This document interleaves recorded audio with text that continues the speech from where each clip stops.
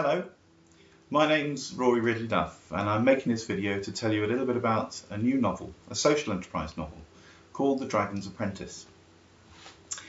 Um, I'm an academic and I work full-time at Sheffield Business School, uh, but I'm also a director of Social Enterprise Europe and a co-founder of the FairShares Association, which is the organisation with whom I'm publishing this novel.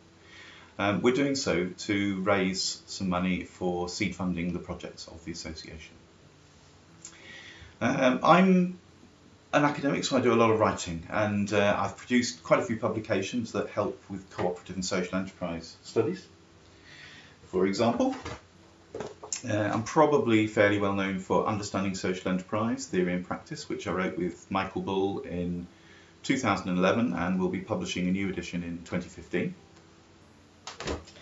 I write a lot of journal articles, so I've just recently had something published in the Journal of Cooperative Studies, something accepted to the journal called Human Relations, and I've written several articles for the Social Enterprise Journal and the International Journal of Entrepreneurial Behaviour and Research. Uh, the problem with all of that is that's fine for undergraduates, postgraduates. These are fine for scholars and researchers, but what can we do for kids in the sixth form or in colleges who are studying business and who don't have access to ideas about cooperatives and social enterprises. They don't understand their principal dynamics. So that's where the Dragon's Apprentice comes in. So this has just been published. You can get it from all good bookstores. Uh, it's available in Kindle edition as well. Um, it's a novel, so it's not an academic text, although there are references to academic works in, in an appendix at the back and a bibliography.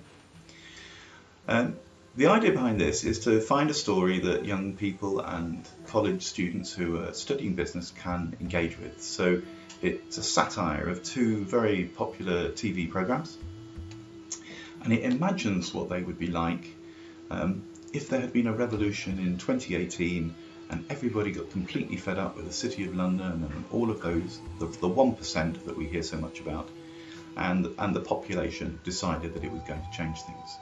So it's set in the future, 2032, and it imagines what these programs would be like if the culture had been changed to one based on cooperation rather than competition and collaboration um, rather than um, a cutthroat business culture um, driven by selfish markets. So I hope you'll find value in this book. Um, I imagine that it will be useful not just to schools and colleges, but also people running courses on cooperative business and social enterprise, such as the Institute of Leadership and Management courses. And also, um, hopefully, it will provoke a reaction internationally because it draws attention to uh, things like Loomio, the collaborative um, decision making platform, and various other crowdfunding, crowdsourcing um, techniques that are becoming popular through the internet and the way that the internet is bringing about a much more participatory democracy. So seek out a copy of the book, share it with whoever you can, and I look forward, and my colleagues and I look forward to hearing about your thoughts about the book and the way that you're using it in education. Thank you.